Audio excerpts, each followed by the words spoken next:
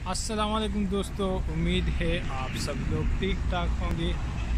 मैं हूँ हलील अहमद और आज की वीडियो में मैं आप लोगों को लेकर जा रहा हूँ एक छोटी सी स्ट्रीट में। तो चलिए हमारे साथ और ये वीडियो एंड तक देखिए।